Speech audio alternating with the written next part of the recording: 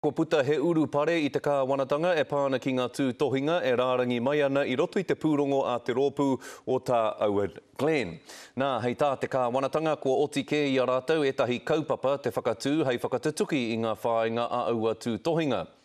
Hoi anō, hei tā ngā rōpū ā-pitihana e tika ana kia kakama ake te kāwanatanga ki te whakatau i ngā āhuatanga o te raru tūkino. Kei te ū tonu te kāwanatanga ki ā rātou kaimahi me ngā whakahoutanga ki ngā tari āwhina i ngā tamariki me ngā whānau. I make no apologies though for Child, Youth and Family putting children first and I saw that as a bit of a criticism in the paper and I get it, when you're a parent it can be pretty emotional and you're in a very, very traumatic time but we will put children first. E ai ki a Paula Bennett, ahakoa i whakarārangihia ngā take hei whakatikatika, kei te kōkiri kē ia i ētahi kaupapa hei ārai atu i ngā mahi tūkino whānau. Engari kei te pōturi rawa te haere, e ai ki te āpitihana. Ko te tikanga, mēnā kei reira ngā rātonga āwhina hei awhi i ngā wāhine, kia kaha te. Whai whakaaro te whaka, ā, kotahi te whakapakari i te whānau, me kawe e wehe atu.